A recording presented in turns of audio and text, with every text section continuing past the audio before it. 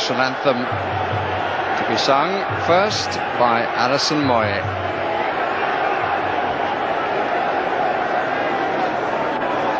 Alison